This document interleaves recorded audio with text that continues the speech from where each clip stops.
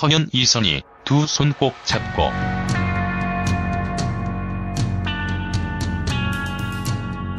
평양 공연을 마친 남측 예술단 서현과 이선희가 4일 새벽 인천국제공항을 통해 귀국하며 두 손을 꼭 잡은 채 입국장을 나서고 있다.